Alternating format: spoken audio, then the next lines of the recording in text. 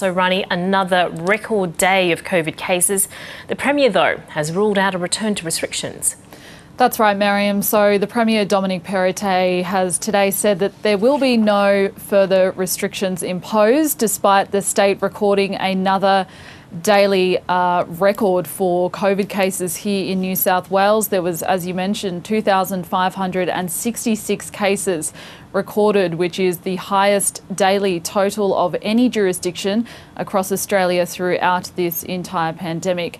Thankfully, there were no deaths associated with the latest reporting period, and the hospitalisation numbers have been relatively stagnant which is also good news. But the Premier Dominic Perrottet has said that he doesn't see the need just yet to impose any further restrictions on, uh, particularly the mask mandate. There's been a number of uh, people calling for a mask mandate to be reintroduced here in New South Wales, given the escalating COVID cases that we've seen. The Australian Medical Association uh, is calling for it, and there are a number of other experts who are calling for the state government to take on that recommendation. He has said that the government is monitoring the situation and they will take necessary steps if needed. Here's a bit of what he had to say. Every day we're monitoring the situation. Every day we look um, at the numbers that are in front of us, the hospitalisations in the ICU presentations, and we'll continue to take a balanced, proportionate, and measured response. Uh, but this is all about taking personal responsibility, and the people of New South Wales are doing just that. The government can't do everything. It's over to the people of our state. It's the people of our state that, has got us, that have got us through the last two years, and it's the people of our state that will get us through the next two. Premier Dominic Perrottet earlier today. Now, Rani, has there been any further reaction to this stance? Yeah, well, there has been. So, the New South Wales opposition leader, Chris Minns, has come out and recommended that the government take on uh, this mask mandate that is being called for by a number of people. He has said that he will support the government if they choose to make that decision. Uh, we've we know that in New South Wales there's been roughly 10,000 or more than 10,000 cases recorded here in the last five days. Um, we've had some incredibly high testing numbers.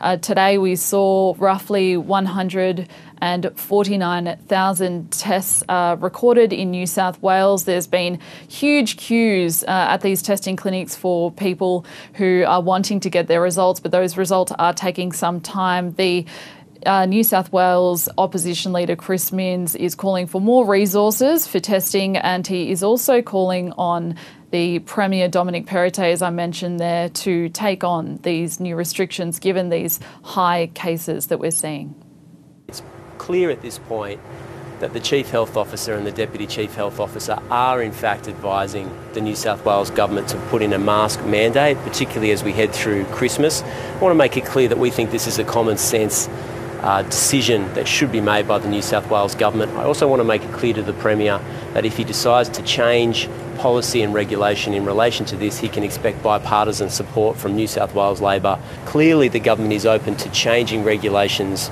and policies. I'm convinced that we can disseminate that information to millions of people across this state very quickly.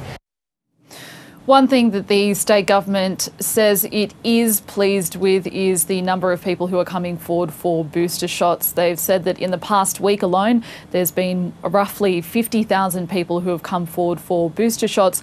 People are eligible for those shots from five months from their second COVID 19 jab.